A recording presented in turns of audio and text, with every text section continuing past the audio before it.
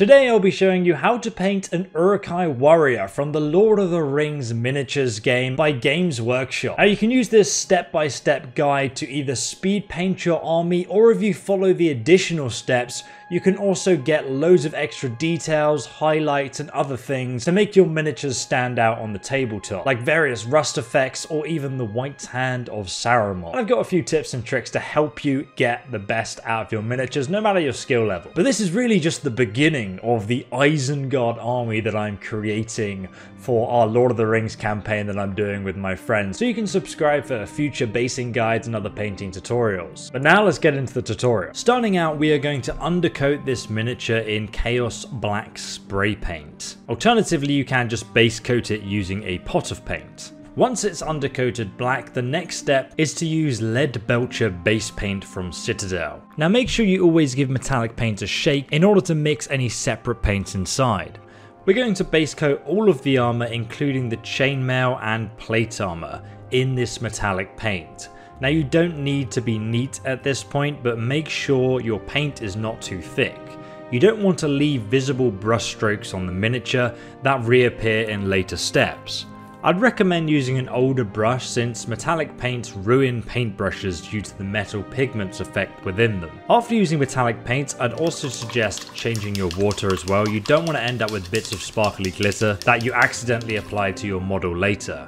So now we've base coated our Uruk-hai armor in lead belcher, we're secondly going to be using Black Templar contrast paint from Citadel, all over the chainmail and armor. Again, you can be quite messy, but, but make sure you use the contrast paint sparingly.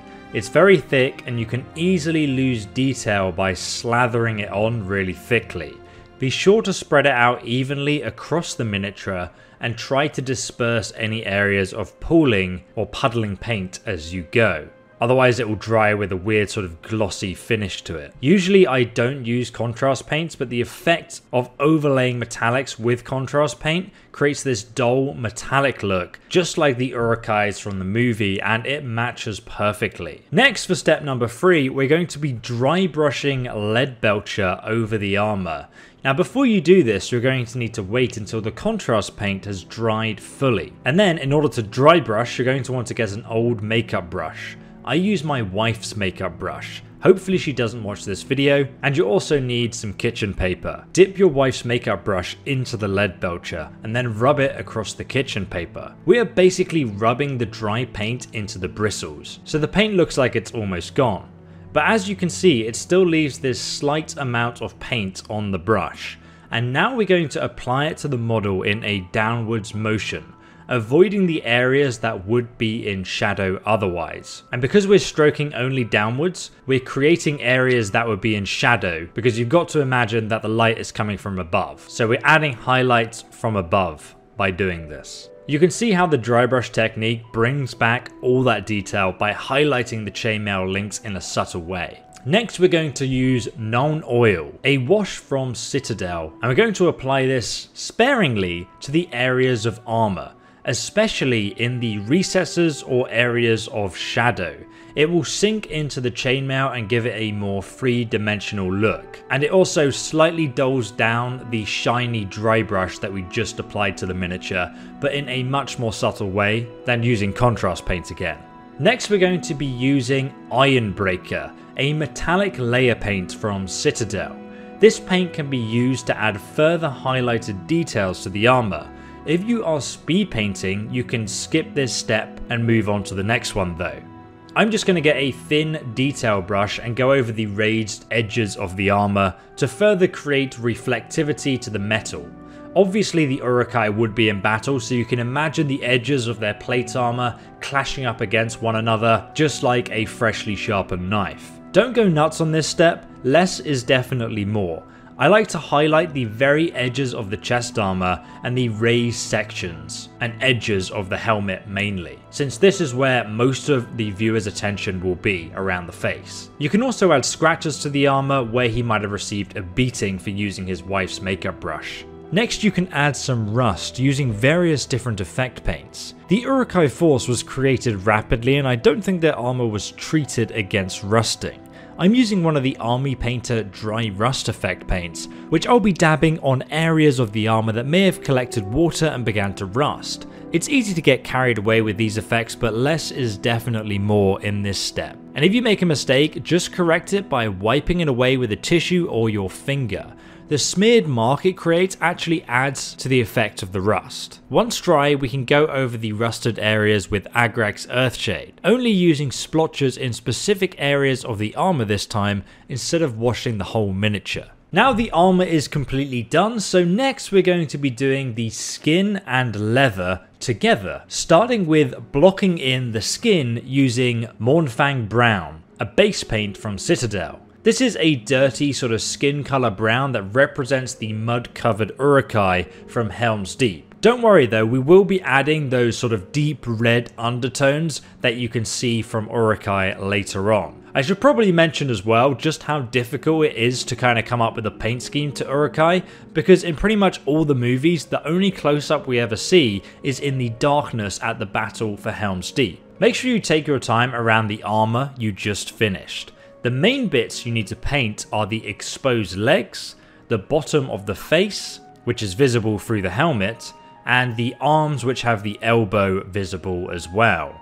The hands are wearing leather gloves though, so we will paint those afterwards. Don't worry about going over the leather straps for now, as you base coat the flesh. Just avoid getting any paint on the finished armour. Next we're going to be doing the leather on the Uruk-hai using Rhinox Hide, a base layer paint from Citadel. We're going to be using this to block in the leather parts on the Uruk-hai miniature, which includes the gloves, the loincloth rag that's kind of wrapped around its waist, visible underneath the chainmail there, the leather gloves, and also the straps under their arms that hold the armour onto them, not to mention the belt buckle on their back as well. We'll also be painting their hair as well. Once again, take care not to paint over the metal armour as you do this, but you can repaint areas of skin with Mournfang Brown should you need to. Next we will use Steel Legion's Drab to highlight the leather areas that we just painted. If you want to create more of a transition from dark to light, you can mix a bit of Rhinox hide with some Steel Legion Drab in order to create a transition from dark to light brown. Apply this to the raised areas of leather loincloth to give the appearance of folded cloth. Then highlight the top of the leather straps, but don't go all the way under the arms in order to create the appearance of shadow under the miniature. You see, miniatures are small, and if we can exaggerate shadows, it just makes them look more realistic. The same can be said for the leather straps on the boots and also the belt on his back as well. Just highlight the upper ridge to create the appearance of worn leather. Finally, we can highlight the gloves and specifically the fingers but you can ignore the hand on the shield side since this area will probably be cast into shadow, into darkness. After this we'll mix in some white or Ushabti bone into the Steel Legion drab to make it even brighter. Then we'll go over the same areas creating extreme highlights. To do this you can put a dot of paint on the edges of the fingers or leather straps just along the ridge here to show the worn leather. And this just makes everything look three-dimensional. Now if you're struggling with this level of detail, try leaning against something to steady your hand. I'm leaning the side of the brush on the ridge of the belt to create the straight line here. And then I'm putting some scratches on the tabard. And finally adding the finishing touches to the leather gloves and finger highlights. Next we'll be using Agrax Earthshade, a shade wash from Citadel. Now new painters have a habit of dousing the miniature in Agrax like they're trying to put out a fire. But if we instead get some Agrax on a plate and then we water it down with 50% water, we can achieve much more subtle effects with more control. You can see my consistency of paint here. Now with this mix, we're going to apply the Agrax shade to the miniature purposefully spreading it over the skin and leather areas, including the hair as well, and the gloves. Don't apply it to the black armor we did earlier. It is faster just to like yeet over the miniature, but it ends up making the whole miniature look brown and just the same and boring. So take your time, make sure it doesn't pull too much in the recesses or you'll get a glossy puddle appearing. You can, however, have some fun just putting a little bit at the bottom of the chainmail to make it look a little bit rusty or kind of like it's been dragged through the mud a little bit as well. Once dry, we're going to get our Mournfang Brown back and we're going to go over the skin again but this time we only apply it to the areas of raised muscle. Avoid the shadowy recesses like underneath the legs. Don't forget the arms and face as well. Take your time doing this step that you don't accidentally go over the leather straps that you spent ages on too.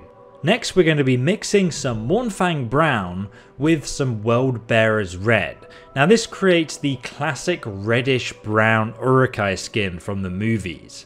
We will now apply this to the legs, but only targeting the muscle bulges to create this sort of pumped look.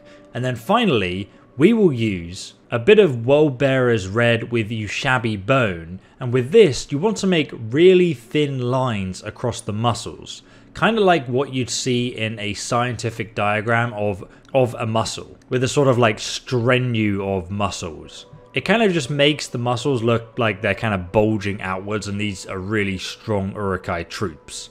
We can also use Wraithbone for the teeth and wash it afterwards with Agrax Earth, Shade Wash from Games Workshop. Next we can use Screaming Skull, which is kind of like a white paint, to add the Hand of Sauron effect to the miniature. This is optional and you can put it on a shield, the chest or boots or even the helmet. Completely up to you. I would, however, suggest that you practice this a few times. Make sure you thin your paint because white paint is notorious for being very chalky. Then you're going to want to paint a C shape and above that you can paint the middle finger, then two fingers to the left and one index finger to the right, and then finally the thumb. It takes some practice, but if you paint this 10 times broken into those steps, you will get the hang of it. And after you're confident enough, you can go ahead and paint the white hand of Sauron onto your miniature. Thinning your paint to the right consistency is key here. And this is the finish hand of Sauron. Let me know what you think in the comment section. Now if you're wondering how I did that base, I'm going to have a basing guide and I'll link it just over here or in the description as soon as it comes out. But it's basically a tutorial on how to make these miniatures look awesome on their bases using really cheap products. So I recommend following that next. But if you found this video helpful, do drop a like because it really helps support the channel and I'll see you in the next video. Goodbye.